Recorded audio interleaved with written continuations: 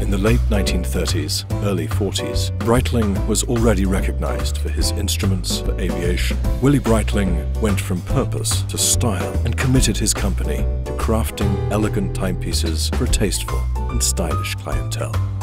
Willy Breitling introduced in 1943 the original Premier collection. The Premier was intended for the discerning and elegant gentleman, yet urban and active they were an exercise in style and elegance. Breitling was once again setting the standard for the entire watch industry. They were more at home at a theatre or a fashionable jazz club than their aviation and military watch cousins might have been and proved that its skills of craftsmanship extended well beyond the brand's signature tool watches.